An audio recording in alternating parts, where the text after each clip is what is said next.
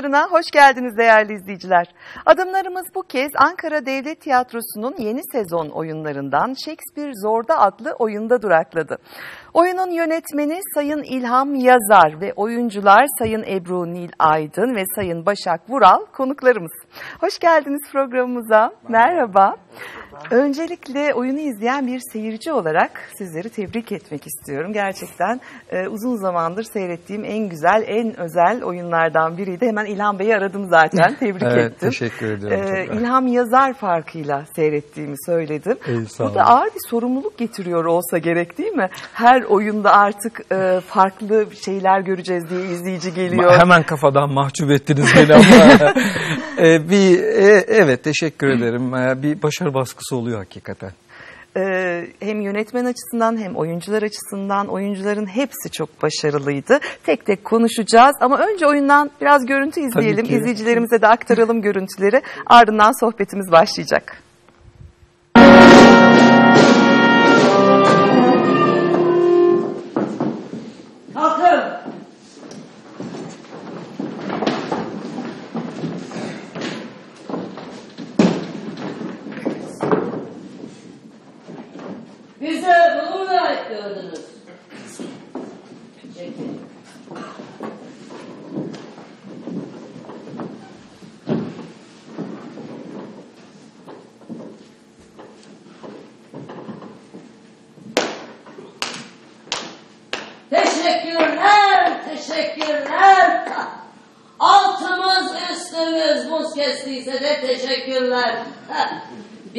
Kışın bu blok tiyatrosuna asla gelmem. Garbage. Majesteleri. Güzel bir kral çıkardınız.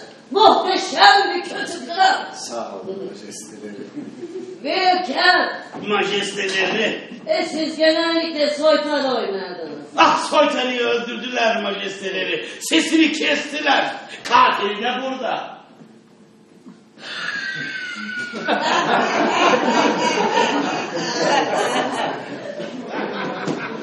Bilinç böyle korkak ediyor hepimizi. Büyük prens. Küçük yazardan ne istiyor? He? Kendisi için sorular yazmamı istemiyor herhalde. Ben sözleriyle halkı coşturacak, harekete geçirecek dostlar arıyorum. Ve senin piyeslerindeki kralları dinledikleri zaman halkın gözünün nasıl ışıldadığını biliyorum. Buyur. İngiltere halkına söyleyeceklerim senin kaleminden çıkmalı. Robert, Tanrı'nın kutsadığı bir kralı deviren intikam alınacağını da bilmeli. İnsanlar beni çağırıyor, halk beni istiyor. Ülkede gereken hava oluştu. Lordum. Artık tarafını seçme zamanı. Lordum. Ve ben seni sevdim. Senin mısralarını dinledim. Bütün İngiltere'nin onları okuması ve hayran kalması için çalıştım. Yeteneğim insanların dikkatini çekti. Buyur. Sana gereken parayı ben vermesem hiçbir zaman bu tiyatroya ortak olamazdım öyle değil mi? O yüzden yazacaklarında benim de söz hakkım olmalı. Böyle bir hakkı ben meslektaşlarıma bile vermem. Ve hemen yarın bu blok tiyatrosunu ateşe vermek isteyecek bir yönetkili insan var. Ben sizi koruyabilirim. Ya da bir kenara çekilip yanışınızı seyredebilirim.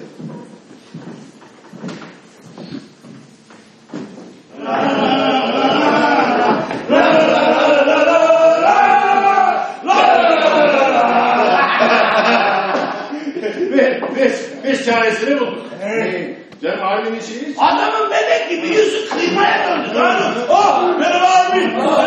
Ne haber? Nasıl oldun? Demek ki kadın rollerine çıkacak birine ihtiyacımız var. Rastlantı bu ya. Dün akşam meyhanede bu genç oyuncuyla tanıştık. Gel. Oyundan kısa bir bölüm izledik. Acaba Shakespeare Zor'da eserini nasıl seçti İlham Yazar? Um, Shakespeare Zor'da e, Yücel Bey'in Yücel Erten'in çevirisi. 2-3 senedir e, elimin altında duruyordu. Yani belki hoca yapar. e, nasıl olur? Ben bir bakmıştım. Bir de Ayıp biraz- olmasın öncelik kendisinin olsun Tabii diye tabii. düşünüldü. E, tabii. İzi hani kendisi yapmak isteyebilir e, çevirdiği halde. Şimdi tiyatroda da böyle bir saygı vardır değil mi mutlaka? Büyüklere, ustalara e, duyulan e, farklı bir saygıdır o. Yani çok da güzel dile getirmiş oldunuz. Sormadan yani hoca yapabilir diye düşündünüz. Hiç e, yani konuşmadınız bile üzerinde. Tabii ki. E, o bir de Yücel Erten e, Türk tiyatrosunun çok e, em, önemli e, simalarından. E, hepimizin hocası, öğretmeni ve yönetmeni çok kıymetli biri olduğu için de ekstra ihtimam. Ben sonra konuştum bir hocam böyle böyle bir metniniz vardı çevirmiştiniz. Onunla ilgili bir projeniz bir şeyiniz var mı diye. Yo, hayır e, düşünmüyorum. Bir, bu aralar o yoğundu zaten. Ben onu yapmak istiyorum ne dersiniz falan diye sen bilirsin dedi bana. Bir de bir işte e, şeyde bahsetmiştim dışarıda. Biraz bir e, ağır ağır birkaç metinden sonra hani yine bir meselesi olan kaba deyimiyle bağışlayın deyimimi sulu zırtlak olmayacak şekilde bir komedi e, bir komedi, evet. tozunda bir komedi Evet evet evet. demek ki. Evet aynen öyle bir e, metin ararken ararken o aklıma o geldi tekrar. Tekrar bir açıp okudum nasıl olur ne olur ne biter diye öyle karar verdim yapmaya tabii kastı oluşturamasaydım yapmayacaktım vazgeçecektim ama kastı oluşturabildiğimiz için de e, hayata geçti böyle. Şimdi oyuna e, bir seyirci olarak girdiğimizde bir kere kendimizi oyuncu olarak buluyoruz ve bu çok etkileyici oluyor bizler için. O dönemin Shakespeare tiyatrosu aslında tam olarak karşımızda duruyor. Hatta biz de içerisindeyiz Evet. oyunun. Ve ardından bir kraliçe geliyor sahneye. Ee, tabii kraliçe de son derece etkili. Tam bir kraliçe Elizabeth ki Ebru Nilaydın'ı ben tanırım ee, geçmiş yıllardan da. Ee, çok şaşırdım. Ee, yani tabii ki yetenekli olduğunu biliyorduk ama e, bu kadar muhteşem bir şekilde bir kraliçeyi karşımıza koyacağını e, çok karakteristik ve özel bir kraliçe oldu o. Ya zaten e, rol yani Kraliçe 1. Elizabeth karakteristik bir kara- tarihi kişilik. E, İlhan bana projeden bahsettiğinde, rolden de bahsettiğinde daha önceki filmleri de seyretmiştim. Hem, hem Kate Blanchett'ı hem de Ju- Judi Dench'i seyretmiştim filmlerini. Aklımda kalmıştı kraliçe e, rolleri. Ondan sonra tekrar bir izledim şeyi, e, filmleri tekrar izledim. O kadar bariz karakteristik özellikleri var ki Kraliçe Elizabeth'in. Çok sert, e, aynı zamanda üzerinde güneş batmayan imparatorluk teriminin e, o dönem sayesinde çıkan bir terim İngiltere'de. Öyle de bir otoritesi Tabii var. tabii tabii. Yani İngiltere'yi üzerinde güneş batmayan imparatorluk aşamasına getiren dönem 1. Elizabeth dönemi İngiltere'de. Ve çok uzun süre e, hükümdarlık yapıyor. Hiç evlenmemiş. E, ve tabii daha geçmişinde de çok e, aile Henry'nin kız, kızı 8. Henry'nin kızı ve ailede de çok karışık dönemler var. Kilise değişiklikleri var bilmem neler. Bir, bir yılın bir hikayesi var. O yüzden e, oyuncu için nüveleri çok hazırdı. Gestusları çok hazırdı rolü. Şimdi hazır olabilir. Ben de çok seyrettim. Kraliçe Elizabeth ile ilgili e, film. Ama o, onu üzerine giymek, onu yansıtmak, o ses tonu, o mimikler. e, gerçekten roller özenle seçilmiş. Sevgili Başak da öyle rolüne tamamen uyan bir oyuncu. Yine burada yönetmene dönmem gerekiyor. Değil mi? O Evet. oyuncunun içindeki cevheri ortaya çıkaracak olan yönetmen. Daha doğrusu oyuncuya güvenen, kafasındakini canlandıracağını bilen yönetmen. O nedenle sorayım size nasıl seçtiniz oyuncuları? Ee, e, Yüzde seksenini, yüzde doksanını tanıyorum zaten daha önceki işlerinden. Ee, sahnede nasıl e, meziyetlere sahip olduklarını her oyuncunun hepimizin, hepimizde olduğu gibi farklı özellikleri var. fa- farklı maharetlerimiz var. Eksilerimiz, artılarımız var. Yani bu e, eksileri nasıl artıya çevirebiliriz mi? E, Biraz bakkal hesabına dönüyor bu iş ama o oralardan bakarak oyuncuları tanıdığım için m, yüzde seksenini daha önce hiç çalışmadıklarım da vardı. Başa e, e, daha önceki bir projemizde beraber çalışmıştık Başak'la. Oradan biliyorum. Ebru zaten dönem arkadaşım benim. E, ilk çalışmamız değil. Beraber aa, oyunlarda da oynadık. Diğerleri de öyle. E, biraz şey tabii bu temel mesele tiyatroda hep onu söylüyorum. Temel mesele temel unsur oyuncu olduğu için e, önce mümkün olduğu kadar az zararla kastı oluşturmak gerekiyor.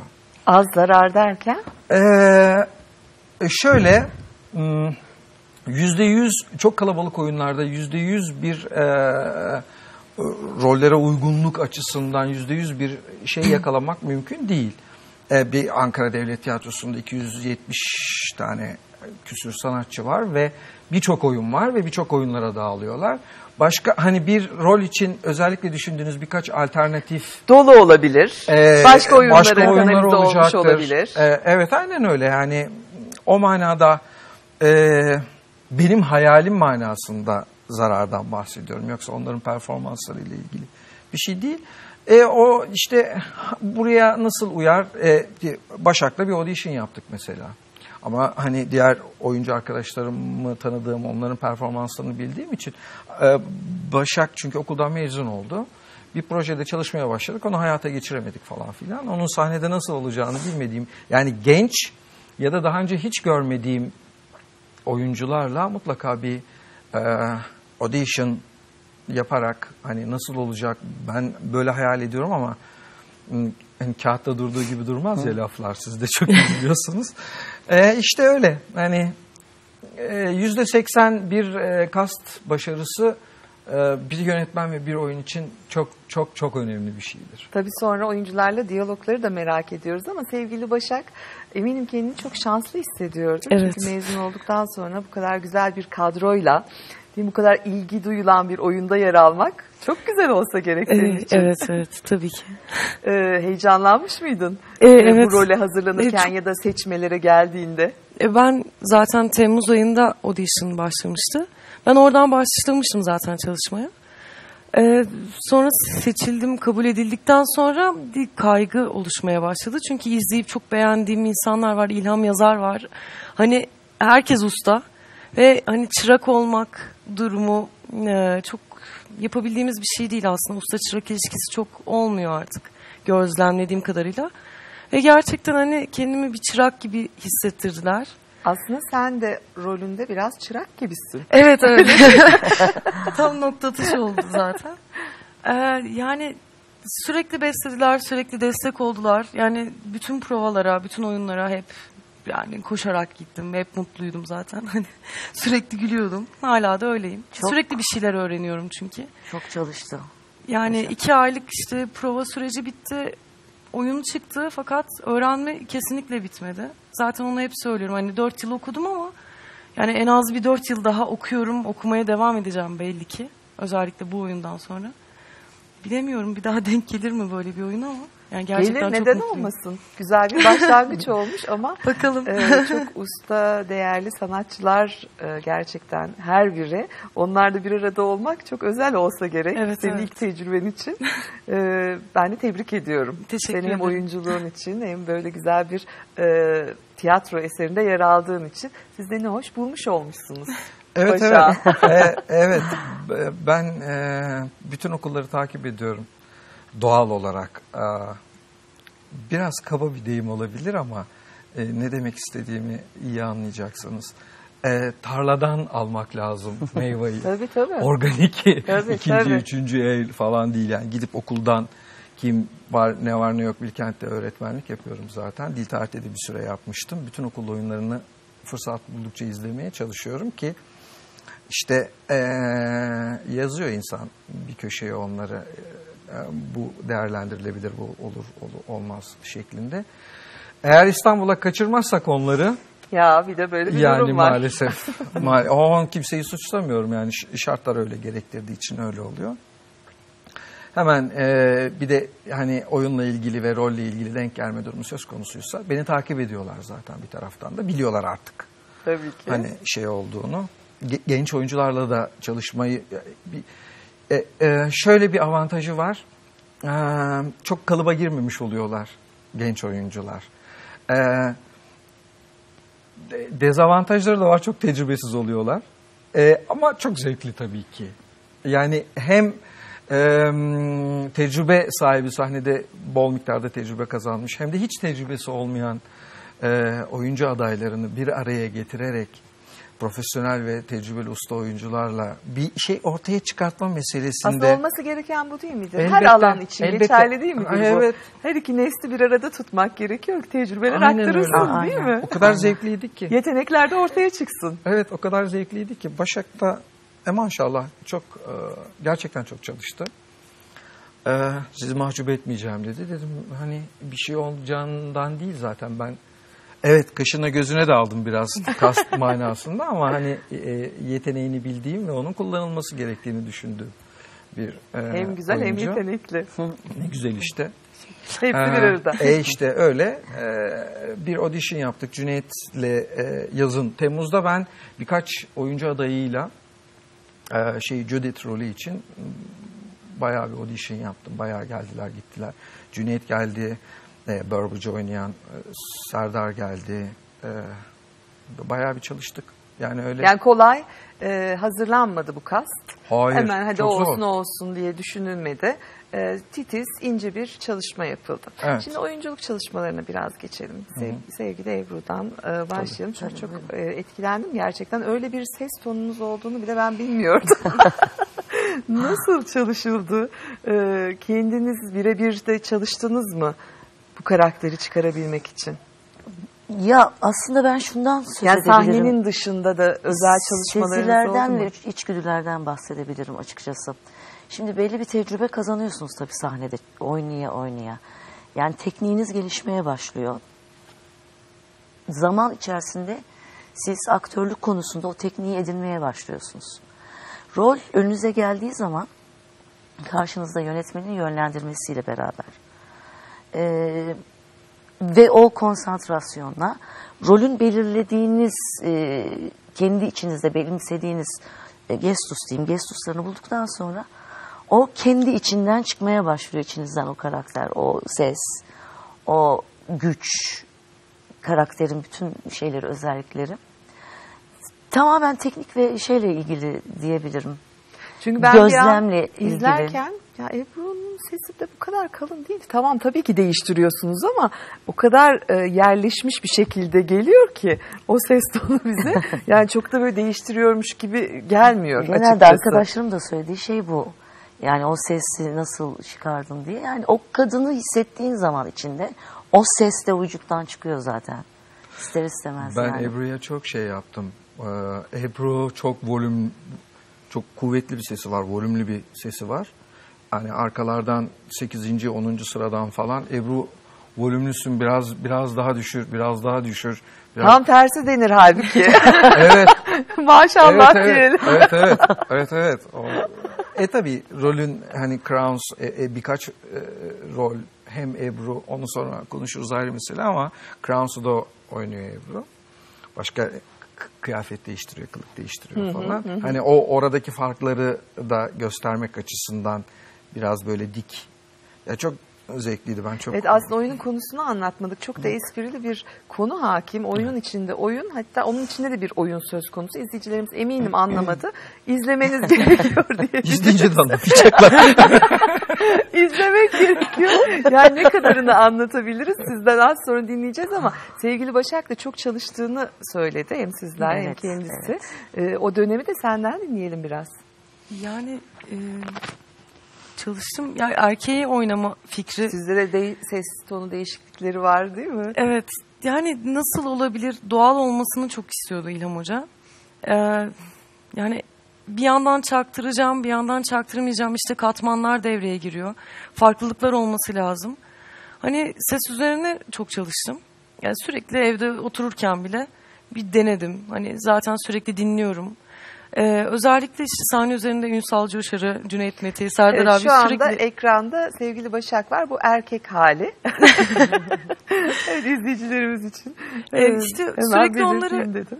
sürekli onları gözlemledim. Hani vücut formları nasıl nasıl kullanıyorlar hani. e, çünkü bu kız da bir, bir oyuncu olmak istiyor ve çalışmış. Demek ki onların benzer mimikleri, benzer vücut formlarından etkilenmiştir diye düşündüm. Daha çok onları gözlemleyerek çalıştım. Yani kendi bedenime ne kadarını yansıtabilir mi aradım açıkçası. Şimdi o zaman şunu konuşalım. Neden o dönem erkek olmalı bütün oyuncular aslında kız ve kadın rollerini e, canlandıracak fakat bunun için erkek olması gerekiyor. İlhan Bey. E, işte kadın Biraz o dönemi anlatmak gerekiyor herhalde. Bir ben çok hani evet bildiğim kadarıyla bir şey söyleyebilirim. Yani Hani temel- kaba olarak genel anlamda. Evet, şimdi aslında şöyle bir ironik bir durumu var. Onu oyunda da kullanıyoruz biz. Bizim sonradan eklediğimiz bir meseleydi. Kadın oyuncu, bu sonradan e, hani Türkiye'de de öyleydi ama Avrupa'da da, İngiltere'de de kadınlar sahneye çıkmıyor, çıkamıyor, yasak Evet. diye bir şey var. Çünkü e, oysa ki ülkeyi yöneten Kadın. bir kadın. Buna rağmen hani bu bu bu ironiyi de biz oyunun içine taşıyarak bir e, biraz onun da tartışılmasını istedik. E, Kraliçe de yani e, Judith yani kadınlar sahneye çıkamıyorlar ama ülkeyi yönetebiliyorlar. Neden diye sorduğunda kraliçenin cevabı aslında yeterli oluyor. Kraliçelerin de e, üstesinden gelemeyecekleri, beceremeyecekleri şeyler var. Onun için de zamana ihtiyaç var. Yani insanoğlunun e, e, ge- gelişimi, med- muhasır medeniyetler meselesine gelme meselesi, orta çağdan çıkılmış e, o durumlar oldukça problemli ve zaman alan şeyler olduğu için kadınlar biraz, biraz değil bayağı ikinci sınıf. E, Kadının adı yok. kadının adı yok. Ama kadın rolleri var. Kadın rollerini erkekler canlandırıyor. Ve bu bir kural. Ee, Elizabeth'ten sonra ve bu meselelerden sonra sonra kadınlar 1600'lü Hemen yılların ortalarında e, hatta sonlarında sahneye çıkmaya başlıyorlar. Birinci Charles Elizabeth'ten sonra Evet. birinci Charles geçiyor. O dönem değişiyor bu kural. Kilisenin biraz Büyük ihtimalle. yani şey, Baskısı var Tabii o ki. dönem. Tabii ki yani kadın meselesinde hayır canım çıkamaz kadınlar. Tiyatro biraz şeydir. e, Ne işi var kadının o ne işi sahnede var kadın? Şeklinde. baskıları. Evet. E, tabii biraz tiyatronun e, durumundan da söz etmek gerekiyor herhalde. Seyirciler be- beğenilerini ya da e, beğenmediklerini anında belli ediyorlar. Ki onu da çok güzel yansıtmışsınız. Herhalde e, oyunun başında yer alıyor değil mi? Beğenmedikleri zaman bir şeyler atıyorlar Evet, evet. oyunculara. Evet, evet. Beğendikleri zaman da yere göğe sığdıramıyorlar. Evet, evet, evet, evet. Hani Böyle bir e, durum söz konusu. E, da- Tabii sonra bir tiyatro terbiyesi oluşmaya başladı. Shakespeare de orada e, e, artık laflarımızı dinlemeye başladılar. Dinliyorlar artık bizi. Noktasından yavaş yavaş yükseldi ve bu noktalara geldi orada. Tabii e, pazar a- açıklık hani içeride üstü açık falan filan. E, Halk alışveriş yapıyor ama o zaman bile tiyatro var ve oraya giriyorlar ne oluyor ne E, çok bitiyor diye. önemli, çok Tabii ki. önemli. İşte beğenmezse eğer elinde ne varsa oyuncunun kafasına atarak beğendiği zaman sahneye çıkıp e, onu kucaklamak istercesine o duygularını egzajere ederek gösteriyorlar. Evet. Ve o e, durum da çok güzel yaratılmış. Yani bir yönetmen olarak tam anlamıyla bizi de oyunun içine dahil etmişsiniz. Teşekkür ederim. Ali Cem Köroğlu'nun payı çok büyüktür. Ko- e, kostüm ve dekor kreatörümüz. Ee, nasıl olabileceği konusunda bayağı bir e, oturduk, konuştuk maket üzerinden. Ee, hani işte iyi iyi şey yapmak lazım, iyi planlama yapmak, iyi çalışmak gerekiyor. Keza müzikleri ve ışıkları da öyle. Ee, müziklerini canlı müzik biliyorsunuz. Orkestramız var. Ali Erel yaptı müzikleri. Ben Ali ile uzun zamandır e, eğer canlı müzik ya da banttan da olacaksa Ali ile çalışıyorum. Ee, Çok pırıl pırıl e, bir sanatçı arkadaşımız kendisi. Umarım beraberliğimiz devam da eder. Ee, Işık kreatörümüz Kerem Çetinel'di. O da yurt dışında eğitim görmüş. Oralarda bayağı işler yapan. E işte kreatif kadroyu yani kaba deyimiyle ambalajını güzel, oyuncuları iyi seçmek, ambalajını güzel yapıp o hediyeyi seyirciye öyle O zaman da Vermek e, gerekiyor. seyirine doyum olmaz. O da işte bir lezzet güzel- ortaya Evet, çıkıyor diyebiliriz Evet. herhalde. Bazen seyirci aldığı hediyeden hoşnut kalmayabiliyor ama genel olarak Ve benim e, izlenimim çok memnunlardı. Evet, Zaten evet. Kapalı gişe gidiyor oyununuz. Evet. E, Evet, bildiğim evet. kadarıyla yine. Bu arada e, her oyuncunun da birden fazla rolü var. Sizin iki. Öyle değil mi? İki mi üç? İki aslında. Yani e, Ebru'yu da sayarsak. kendimi de sayarsam Üç, Ha. üç rol. Üç oluyor. Sizde öyle. Ee, biraz onu konuşalım ama e, oyunu biraz kim anlatmak ister? İlham güzel anlatır diye düşünüyorum. Ben hiç güzel anlatamıyorum. Ben Başak. okuma provasında da anlatamamıştım zaten. Ben böyle bir katmanlar falan filan bahsedince. Şimdi yani o- yönetmen olarak zaten zorlanmış mıydınız oyunu anlatmak? Onu anlıyorum. Sahneye ben- çıkınca. Ha, ben bir, bir şey tarif ederken biraz e, zorlanabiliyorum. Yani temel olarak şöyle bir şey var. Oyunun içinde bir oyun ve onun içinde de bir oyun. O üçüncü katmanı, üçüncü katman dediğimiz kısmını biz dahil ettik oyuna. Normal koşullarda oyunun temel meselesi şudur. İngiltere'de günümüzde bir tiyatro topluluğu 1600'lü yıllarda Globe zamanında, Globe Shakespeare'in İngiltere'nin 1600'lü yıllarında Elizabeth döneminde geçen em, bir e, hikayeyi anlatır. Günümüzdeki tiyatro topluluğu şimdiki zamanda bir genel prova yapıyordur ve çeşitli aksilikler sebebiyle seyirci önce onun günümüzdeki bir oyun olduğunu, tarihi bir oyun olduğunu bilir, günümüzdeki bir oyun olduğunu anlamaz. Oyun Yani ben öyle seyirci başlar. olarak geldiğimde tarihi bir oyun Evet, evet. zannederken Evet, bir anda birden bakıyoruz 2000'li diye. yıllara dönüyoruz. Oradan bir seyirci Günümüzdeyiz. Hı, günümüzdeyiz. Ee, e, İngiltere, günümüz İngiltere'sinde bir tiyatro topluluğu o işi yapıyordur.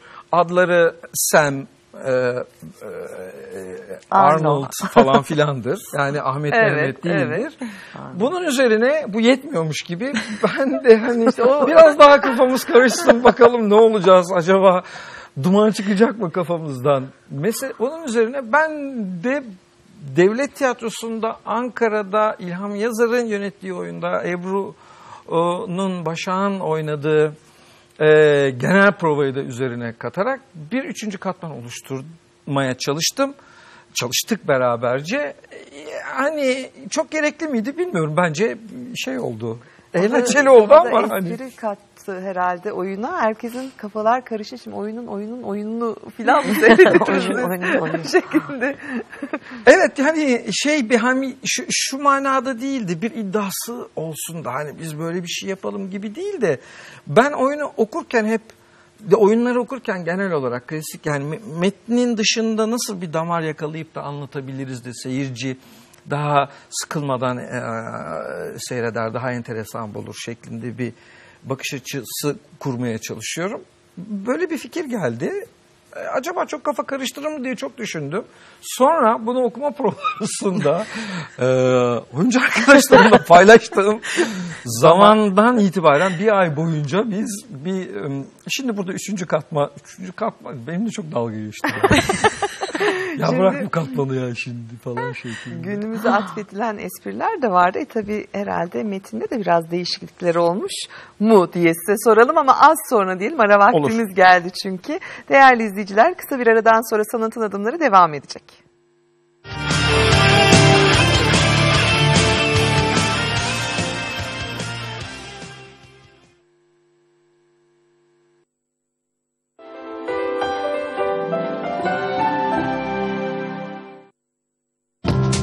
istediğim renk. Bu değişimi herkes çok beğenecek. Yenilenmeye hepimizin ihtiyacı var. Üstelik çok da hesaplı oldu. Fırat Benden kaçırılmayacak pencere değişim fırsatı. Pencerelerinizi ahşap desenli Fırat Ben'le değiştirin. Tavsiye edilen metrekül fiyatı 12.50 TL. Hem de 10 ay vadeli. Pencereler renklensin, evler yenilensin. Fırat Ben. İnsanoğlu akıllıdır. Doğal olanı, faydalı olanı seçer. Tabiatın büyük uyumunu kendi yeteneğini keşfeder ve güzelliklere dönüştürür. İnsanoğlu hayatın tadını tuzunu bilir. Sofrasına doğal lezzetler katar. Biz de Ege Denizi'nin bereketinden saf ve taze deniz tuzu üretiyoruz. Bu doğal tuzu müşterileriyle buluşturacak gıda sanayicilerini bekliyoruz. Çamaltı Tuzlası, Türkiye'nin tek deniz tuzu üreticisi. Zaman geçer. Yaşam değişir.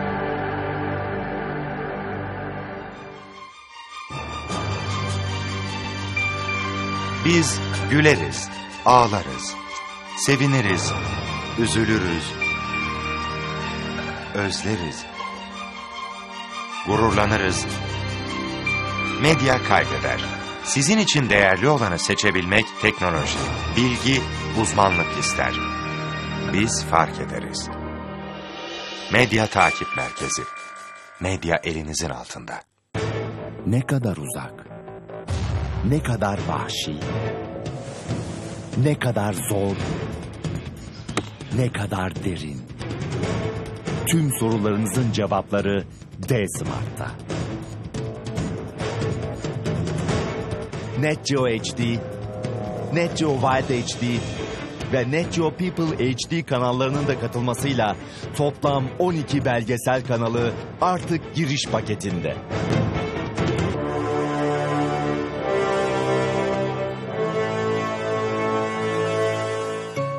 D-Smart. Daha fazlası.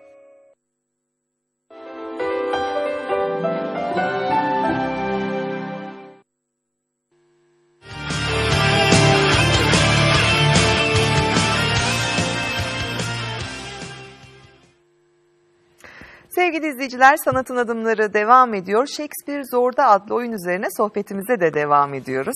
Oyunun özellikle yeni sezonun güzel oyunlarından biri olduğunu zaten söylemiştik. Hem oyunculuk açısından hem e, yönetmenin e, seyirciye vermek istedikleri açısından demiştik. Şimdi oyuncuların da birden fazla rolü var oyunun içerisinde teksten de söz edecektik ama bunu sormak istiyorum önce Ebru Hanım'a. Bunu nasıl Evet. çözümlediniz? Şimdi kendiniz oluyorsunuz. Bir oyuncu olarak Evet. kendiniz oluyorsunuz. Yani orada da aslında bir rol söz konusu. Kraliçe Elizabeth var. Bir de Kraliçe Elizabeth'in yaptığı bir rol var. Evet, onu anlatayım o zaman. Lütfen. Ee, Kraliçe Elizabeth Globe'da oyun seyreder. Oyundan sonra e, ekibin soytarısıyla bir diyaloğa girişir. Diyalogda e, soytarı soytarılığından dolayı her şeyi söyleyebilir hükümdara. Orada iddialaşırlar. Bu da Yani- gerçek değil mi? Soytarılar dilediklerini Evet, konuşabiliyorlar. Evet, evet, evet, evet. Dokunulmazlıkları, Dokunulmazlıkları var. Yoksa diğer başka biri söylese kellesi gider. Evet, evet. Nitekim her şeyi söyleyebiliyor kraliçeye. Ee, kraliçe diyor ki ben halkı güldüremez miyim diyor. Güldüremezsin diyor. Sen yani arkanda bu e, korumaların olduğu müddetçe varsın demeye getiriyor. Ee, oyunun diğer bölümünde kraliçeyi kılık değiştirmiş, erkek kılığına girmiş, yaşlı bir adam olarak görüyoruz. Globe'un kapısına dayanıp iş arıyorum diye Kraliçe Elizabeth Globe'a geliyor. Kimse tanımıyor Elizabeth olduğunu anlamıyorlar. Ve onu kostümcü olarak işe alıyorlar. Ve oyunun sonuna doğru olan kısmına kadar e, Elizabeth'i e, Crowns zannediyorlar. Yani e, O yaşlı bu adam. yaşlı kostümcü amca zannediyorlar. Ve tabii oyunun esprileri orada gelişmeye başlıyor kendi kendine içinde. Ve sonunda tabii ortaya çıkıyor ki Elizabeth'miş. Dolayısıyla e, bu rolü oynuyorum e, makyaj ve kostüm değiştirerek. Ama çok zevk alarak oynuyorum hakikaten. Yani Crowns'u oynamak, yaşlı O bir daha erkeği mı oynamak. Zevk veriyor kraliçeyi oynamaktan. Yani kadın figürünün dışına çıkıyor olmak da e, farklı bir şey oldu benim için. Çünkü şimdiye kadar hiç oynamadığım bir roldü. Erkek oynamak ve yaşlı bir erkek oynamak. Ee, nasıl yaptım? Çok da başarılı yaptınız. Gayet de güzel geçti bize. Onu hissedersiniz. Yani prova aşamasında e, sahne üzerinde bir tedirginlik vardır. Bakarsınız 3-5 tepki gelmeye başlar. Arkadaşlarınızdan ya da yönetmenden. Bir iki gülümseme. Bir iki böyle bir şey, bir sıcaklık. Ha demek ki yapıyorum. Onun galiba üzerine oluyor tepki gelmeye başladı. Ha beğendiler galiba diye. Onun üzerine gitmeye başlarsın prova aşamasında. Öyle çıktı Kraus. Evet. Şimdi sevgili Başak da hem erkek hem kadın hem de e, erkek e, kadınlığını gizleyen bir rol. Evet. Bu da çok zor. Öyle değil mi? Yani bence çok keyifli bir rol. yani Bir oyuncuyu besleyen bir rol. Evet evet. Yani neyim var neyim yok her şeyi göstereyim dediğim bir şey. Yani ne kadar gösterebiliyorum bilmiyorum ama hani elimden geldiğince. Keyifli bir rol. E, bizi şu, daha demin de bahsetmiştik hani Judith ilk defa oyuncu olmaya gidiyor. ilk katmanda. İkinci katmana bakıyoruz. İşte ismine Mary koymuştuk sanırım. İngiliz tiyatrosundaki kıza. Mary diyelim. E, Mary de ilk defa sahneye çıkıyor. E, Judith'i oynayan Mary. Ee, diğer katmana geliyoruz Başak'a. Başak'ta ilk defa devlet tiyatrosunda bu kadar büyük bir kadroda gibi gibi böyle çok güzel. Açılımı var. Güzel Bütün katmanlarda aynı şey var böyle. En tecrübesi. Peki Başak'a gelelim. Başak ne düşünüyor? Nasıl bir kariyer çizecek kendisine? Hiçbir fikrim yok yine de. yani şöyle söyleyeyim. Haklısın. Yani e, sahnede olmayı çok seviyorum. E, çok mutluyum, çok keyifliyim. Sahnede kalmak istiyorum. Mümkün olabildiğince ne kadar olursa. E, ama yani elbette ki hayallerim var ama şu anda... Biraz akışına mı bıraktın Evet, durumu? evet, evet. Hayaller? Hayaller işte bir tiyatro evi olsun. İşte orada çalışayım, sürekli kendi üretimim olsun. İşte hep birlikte tiyatro yapalım, öğrenciler olsun. İşte öyle şey hayallerim var ama bakalım. Daha çok var Televizyon, onun. dizi. Yani çok öyle bir hayalim yok. Daha çok sahne üzerinde hayallerim var. Bakalım bilmiyorum. İstanbul'a gitmeyi düşünmüyor musunuz? Yani işte bu oyun olmadan önce bir gitmeyi düşünüyordum. Hatta e, taşınabilirim gibi düşünüyordum. Tam İstanbul'dayken İlem Hoca aradı. E, işte bu role sözleşmeli birini almayı düşünüyorum. Audition yapıyorum. Geliyor musun? Tabii hemen deyip hemen atlayıp geldim. Dolayısıyla Ankara'da kalmak iyi bir fikir bence. Ama zaten hedefler içinde İstanbul varmış. Oraya gidiliyormuş. Hiçbir şey yapamıyorum Sonra diye dönülmüş. İşte şey- Anlaşılan o. Öyle değil mi? İşte ben doğru anladım. kaçırmamak lazım diyorum ya. Kaçırmamak gerekiyor. Evet. E, çok iyi bir potansiyeli var e, Ankara'nın. e, e, Şimdi hem çok iyi bir potansiyeli var hem de ekrana çıkan yüzlere baktığımızda çoğu Ankara'dan işte- gitme sanatçılar. evet, aynen öyle. Sizlerin arkadaşları. Evet öyle değil evet. mi? Abilerimiz e, devlet Evet. tiyatrosu. Ankara e, senar senaristleri e, s- set ekibini bile yani. mü- müzisyenlerin birçoğu yani. Ankara öyle memur şehri gibi görünür, Görünse de. görünür ama aslında İstanbul'u ve sanat meselesini gerçekten çok besleyen ve destekleyen %70 Ankara kökenlidir. O gördüğümüz abilerin, ablaların, Tabii ki İstanbul'dan da çok değerli sanatçılar Elbette, ama elbette. Ankara büyük bir potansiyeli gönderdi İstanbul'a. İşte keşke göndermesek de kendi şehrimizde de o potansiyelle devam edebilsek de bizi de bu konuda destekleyen idareler olsa keşke. Keşke. Keşke on buçukta metrolar kapanmasa. Gece Hmm, bu on çok buçukta. önemli seyirci için. E tabi. Ulaşım E tabii ki. Aynen en önemli öyle. konulardan biri. Herkesin arabası yok. Öğrenciler var. Tabii. Öğrenciler e, çok meraklılar tiyatroya. Çok. İşte bale, modern dans. Şimdi şehir merkezine yakın yapalım. sahnemiz vardı galiba yeni sahne. Yeni sahne O da kapandı. Öğrencilerin hemen ulaşacağı bir sahneydi orası. Evet evet çok da merkezi ve çok hoş bir yerdi gerçekten. Hem yapısı hem pozisyonu itibariyle. E şey oluyor işte biraz öyle olunca e, hani başkentte 10.30'da gece 22.30'da son seferini yapıyorsa öğrenci Konserler ve tiyatrolar etkilenecek. çok etkileniyor. Ha, bir sürü hizmetimiz var. O, o- da olsa ne güzel olur diye serzenişte bulunuyor. Tamam buradan bir şey söylemiş oldunuz. Tabii ki, Gelelim tekrar için. oyuna. Oyunda e, günümüze e, atfedilen espriler de var. Yani e, nasıl diyeyim ya da e, daha günümüze uygun espriler. Bu da bize düşündürdü ki acaba bunlar sonradan eklendi mi? Ee, çok evet eklenen bazı şeyler var. Hani e, ben şey yapmayı çok tercih etmiyorum. Özellikle bu e, bazı politik göndermelerde falan e, şeyi eski bir metni oradaki hikayeyi çok güncelleştirip de yakın zamanda herkesin bildiği bir e, diyalog haline dönüştürerek sunma meselesini ben çok sanatsal bulmuyorum.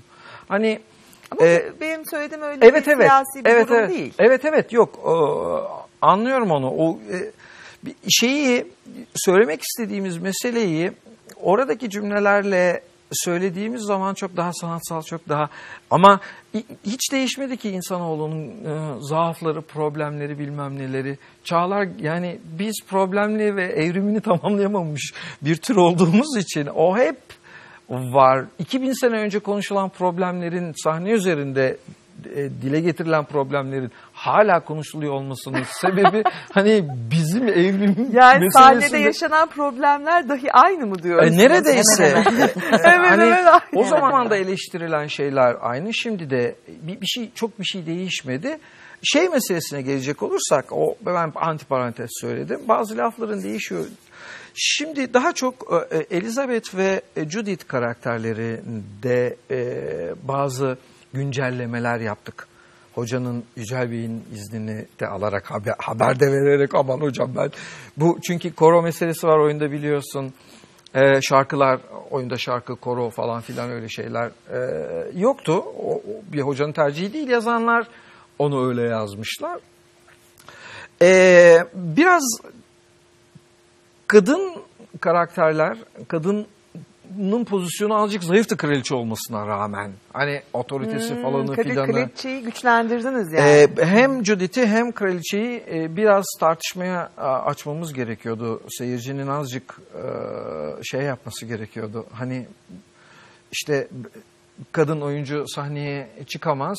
E, Judith e, kadın olduğu anlaşılınca erkekken sahnede problem yoktu. Artık sadece benim eşim olabilirsin e, ama oyuncu olamazsın gibi bir yaklaşım var ya oyunda. ya. Ee, Yani seyirci epey tepki gösterdi o yaklaşıma. Evet. Asıl tekste vardı zaten. bu. Vardı değil mi? Var Tabii, var. tekste Tamam. var. Öyle bir şey vardı. Ee, ama Judith'in sen istediğin zaman değil, ben istediğim zaman e, anne olurum lafını e, biz biraz şey yaptık, destekledik, altını çizmemiz gerekiyordu. Ama zaten önceki replikler başladığında seyircinin tepkisi de başlamıştı. Ee, bir kadının yapması gereken budur, budur, Tabii. budur diye sıralanmaya başlandığında seyirci ha, hı, hı diye. Zaten bunu okuma provasında biz tartışmaya açtık. Yani Hı hı. finale finalle ilgili. Evet. O, onu Biraz öyle- zayıftı o, o taraflar. Yani şeyi... e, Tekste hafif güçlendirmeler yaptınız. Evet, bir yüzde otuz, yüzde kırklık bir e, ekler yaptık. E, benim e, bir öğrenci yardımcı arkadaşım var, e, Ozan. Yüzde kırk da az değilmiş aslında. Yani evet. kırk. Hani bir koroyu dahil ettiğimizi, müzikleri dahil ettiğimizi düşünürsek yüzde kırklık bir şeyimiz var, ekimiz e, var. Daha güzel olsun diye değil de daha hmm, çok sulu zırtlak bir şey olmasındansa hem güldürelim hem de e, söylemek istediğimiz Sözümüz bir mesele mi, bir sözümüz de var. Onun da azıcık e, şeyini usturuplu bir şekilde söylemekte fayda vardır Evet. diye düşünüyorum. Yani kadın sorunsalını biraz hani e, öne alalım gibi bir ortak fikirde bulunduk hepimiz. Aslında düşünceniz de tam olarak yani iki altını kadının birbirine desteği. Evet, iki kadının da birbirine desteği konusunda. İki kadının da desteği Evet, var evet, Kraliçe evet, e, ve Judith'in. Onu da biraz Tabii öne ikisi de kıyafet değiştirerek orada bulunuyorlar. Öyle bir ironisi de var onun. Ee, birbirlerinden e, bir süre haberli değiller. Sonra e, Crowns Ebru'nun oynadığı erkek rolü fark ediyor e, Judith'in aslında kadın olduğunu. E, o, o, o tartışmalar e, yaşanırken e, Judith e, e, Crowns'un kraliçe olduğunu bilmiyor falan filan. Hani Bence seyretsinler. Evet, evet. Kafaları iyice karıştı. Seyretmeden anlaşılamayacak. Turne yapacak mı oyun? E, herhalde yaparız. Bir Denizli'ye gittik. Hmm. Çok güzel. Evet dekorumuz biraz e, bir büyükçe Hı hı. e, olduğu için hani e, e, hem sahnenin akünün fiziki koşulları açısından hem de e, globun yansıtılması açısından o locaların falan kullanılması biraz Hı büyük hı. olduğu için e, öyle her yere gidebilecek e, şeyde değiliz. E, imkanı sahip değiliz ama büyük sahnelerde sahne ağzı geniş olan büyük sahnelere turne yapabileceğimizi Olabilir. düşünüyoruz. Bu da sevindirici. Evet. Şimdi şunu da merak ediyorum. Ee, okul döneminde Shakespeare çok incelenir. E, mezun olduktan sonra bilmiyorum Shakespeare'in bir oyunda yer aldınız mı? Oynadım ben. Hangilerinde? Macbeth'te oynamıştım Diyarbakır Oo, Devlet Ne kadar güzel, harika. Ama böyle tam anlamıyla o dönemi yansıtan bir dekorda oynadı, oynamanız e, farklı bir duygu yarattı mı sizde? Çünkü o dönemi çok inceleyip inceleyip tam o dönemde sanki oynuyormuş Yani hep gibi. zevk almışımdır. Hep. O dönem Evet, tiyatrosundan evet, mı? dönem oynamaktan. Peki- Ve Shakespeare oynamaktan zevk almışım. Başak'a da soralım çünkü o yeni mezun. Evet. Film için nasıldı? Öyle bir sahnede oynamak. Yani e, Tam ben hayal ettiğin gibi miydi? yok değildi. Yani Değil miydi? Ben sürekli başka sürekli bir şey hayal ettiğim için ne çıkacağını hiç bilmiyordum. Zaten dekorları daha gece kuruluyordu. Ben hemen gittim zaten nasıl bir şeymiş diye oturdum bekledim kurulmasını.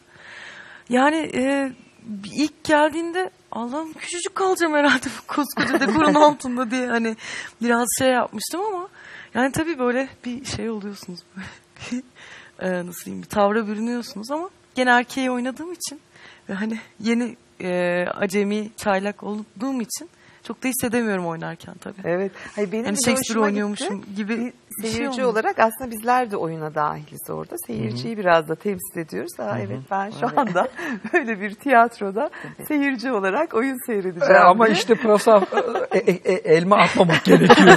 Siz atmayın. Yani bizim attıklarımız. Yok biz gayet iyi, adabına uygun diğer seyircilerle birlikte seyrettik oyunu. Diğer oyunları seyretme fırsatınız oluyor mu? Ee, hemen Ebru'ya sorayım. Ben bir tek şeyi izledim. e, denk geldi boşluğumda. Hedda Gabler'i izleyebildim operada, büyük tiyatroda. Çünkü yoğun bir tempoyla siz de oyun oynadığınız Evet. için her, her oyunu takip edemeyebiliyorsunuz. Elimizden geldiğince gayret ediyoruz yani hani izlemeye çalışıyorum. Şimdi arkadaşlarımızın oyunları başlayacak gene bizim aynı ekipte beraber oynadığımız arkadaşlar. Jerry ve Tom yine ilham yönetti. Ben Hı hı. izleyememiştim. Merakla yarın onu izleyeceğim. Evet benim de seyretmem gerekiyor. Ben de elimden geldiğince takip etmeye çalışıyorum ama her e, işte konsere, tiyatroya, operaya yetişemeyebiliyorum maalesef. Evet, tabii ki. E, Jerry ve Tom'dan da söz etmek ister misiniz? E, tabii ki e, iki sezon öncesinin oyunudur. O bir- isminden ben biraz çocuk oynuyormuş gibi duyulmasına rağmen "Aa, Tom ve Jerry varmış hadi gidelim deyip 8 yaşında çocuklarla e, gelip e, e, bir saniye bir saniye evet yani Ama haklılar. ama bakmaları lazım. Biz Ama- hangi oyuna gidiyoruz? Konusu nedir? İki kiralık Şimdi katil sürekli Tom adam ve Jerry değil, öldürüyorlar. Jerry ve Tom. Evet, o Tom ve Jerry, bu Jerry ve. Tom. Oradan anlamaları gerekiyor. Yani an- yok konuya bakmak lazım. Bir de artı 13.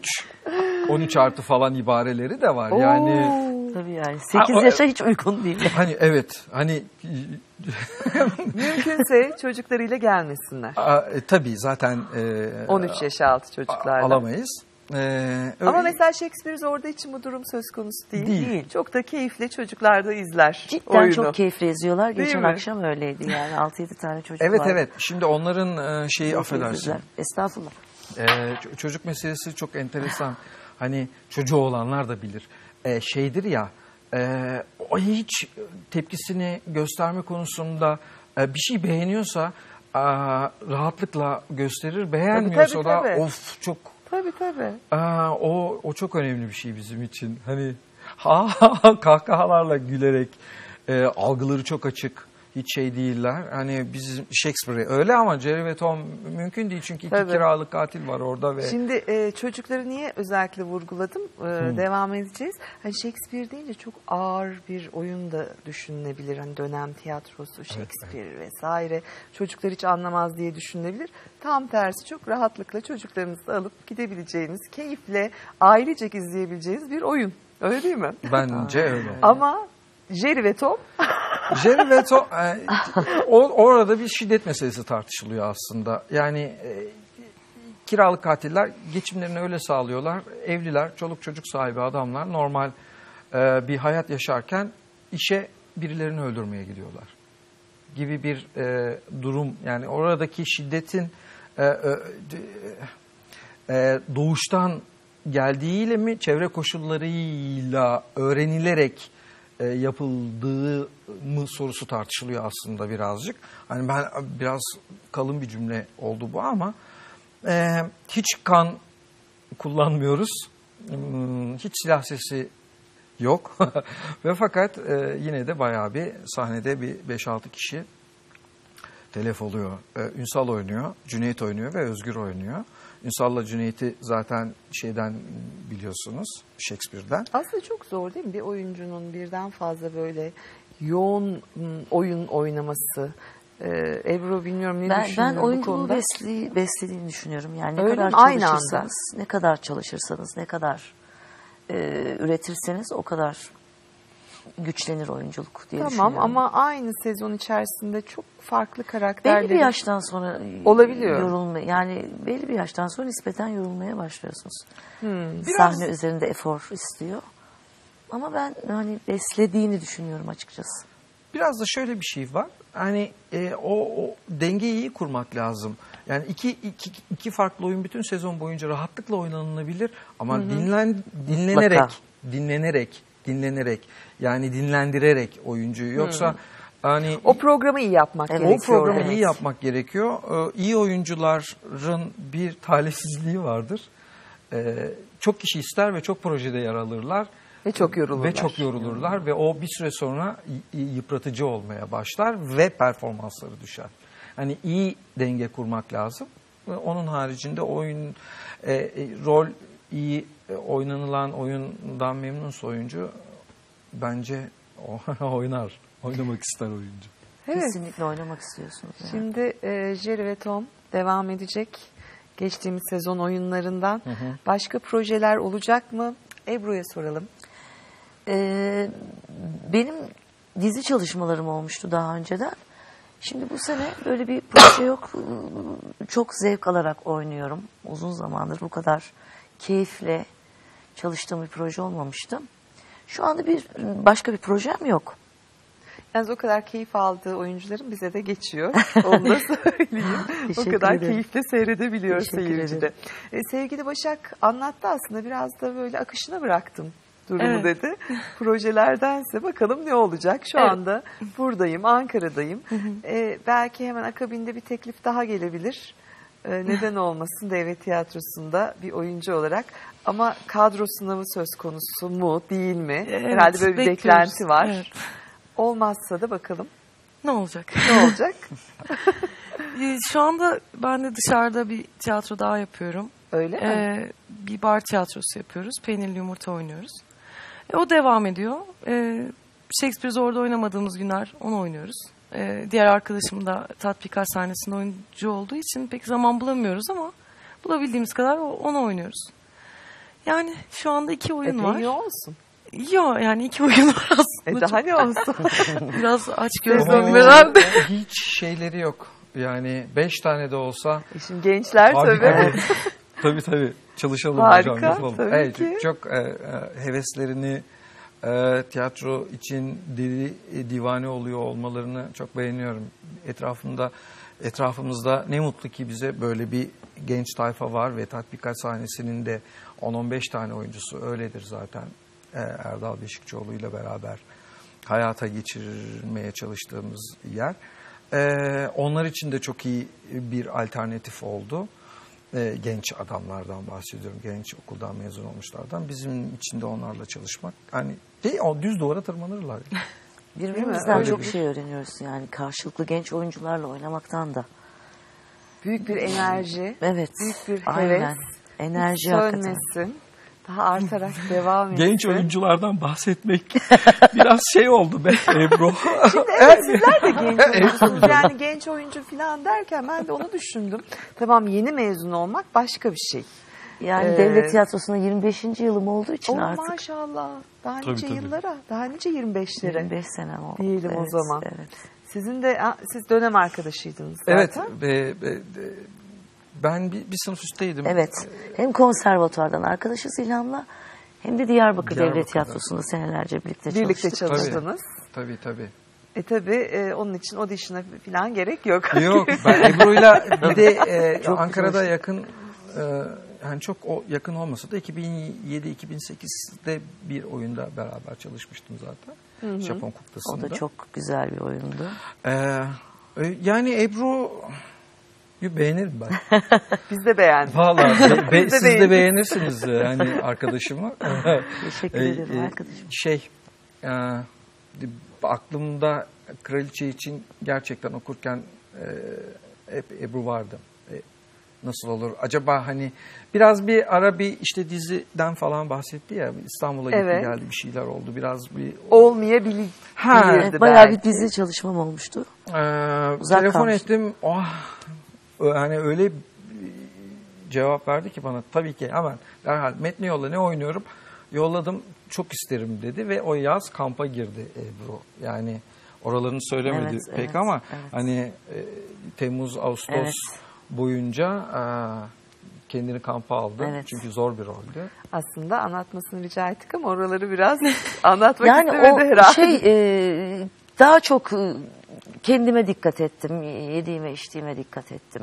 E, Hep kafamda şey vardı, oyun vardı. Kondisyon gerektiren. Kondisyon gerektiren sürekli yürüyüş yaptım. Hı hı. Hı, uzun cümleler Evet, vesaire evet, değil evet, mi? evet. Söz konusu. Aslında oyuncunun tam e, kendisine çok dikkat etmesi gerekiyor. Tabii ki. Dediğiniz gibi hayatının her döneminde yemesine, içmesine, uykusuna, Malzeme bedeniniz sporuna, egzersizine dikkat etmesi gerekiyor. Hani Yapamıyoruz tam ama. tersi düşünceler de olabiliyor ya. O nedenle buna vurgu yapmak istedim. Çok disiplinli olması gerekiyor. Malzeme, Aslında sanatın her alanı öyle değil mi? Elbette öyle. Disiplin olmazsa başarıyı yakalamak mümkün değil. Evet. Ki siz bu disiplinle bu başarıdasınız zaten. bedene bedene dikkat etmek lazım. İşte Beden- Başak biliyor bütün öğrencilerim tiyatro disiplini e, yani genel olarak her işte öyledir ama tiyatro biraz kolaymış gibi gelir ya Ha insanlara işte ben dışarıdan. de oynamıştım, ben de Ha, yaptım. ben öyle demiş hani, yani. evet benim de e, şeyde bir sahneye çıkmışlığım var. Hani çok müzik ezber için aynı yapamam şeyi söyleyemezler. Ezberi neden? Belki en kolay mevzu ezberdir. Yoğunlaşıyor. Opera ve bale için de çok şey değildir ama tiyatronun çok daha anlaşılır bir gün güncel bir dili olduğu için daha kolay yapılır. Tabii, tabii. Gelir insanlara öyle hiç öyle bir şey yok yani. O, Evet İlham Yazar'ın yeni projeleri olacak mı acaba? O- eee, bir evet olacak bir sıkıntı olmaz ise ya önümüzdeki sene devlet tiyatrosu için doğal olarak bir projem eee, yapmak istediğim birkaç tane alternatif bir şey var ama onları henüz konuşmadığımız için eee, somutlaşmadan dile getirmek istemiyorum. İstanbul'da bir eee tatbikat sahnesinin Ankara tatbikatı, İstanbul tatbikat diye devam ettirmek istiyoruz. Orayla ilgili bazı girişimlerimiz var. Harika. Evet, biz de çok heyecanlıyız. Ee, Bir e, İstanbul ayağı olacak onun. Bakalım orası için şimdi bir takım çalışmalar başladı. Ee, var. Var olmaz ama mı? o- olmaz tamam. mı? Biz sizi takip etmeye devam edeceğiz Edin, o zaman. Evet, evet. Çok teşekkür ediyoruz katıldığınız için. teşekkür ederiz. Ve sevgili Başak yolun açık olsun. Çok teşekkür Ee, ederim. Umarım güzel bir gelecek seni bekliyordur. Ve sev- sevgili Ebru nice 25 yıllara diliyoruz. İnşallah. Çok teşekkürler. Sana da e, bu güzel performansınla Çok elbette. mersi, çok. Ve sevgili İlham Yazar'ı da takip edeceğiz güzel oyunlarını. Oyuncu olarak göreceğiz mi peki? Kendisini Ee, sahnede. Ee, bir e, tabii Yeşil Lütfen, da döndüm özledik. ben. Şeyde e, yönettiğim, tatbikatta yönettiğim Marki de Sad'da aslında oynuyorum da. En kısa zamanda onu da seyretmeye bir geliyoruz o zaman. orada, Harika. Çok teşekkürler bir Biz kez teşekkür daha. ederiz. Teşekkür ederiz. Sevgili izleyiciler, bugün de programımızın sonuna geldik. Biz her zaman sanatın ve sanatçının peşinden gitmeye devam edeceğiz. Haftaya tekrar görüşmek dileğiyle. Hoşçakalın.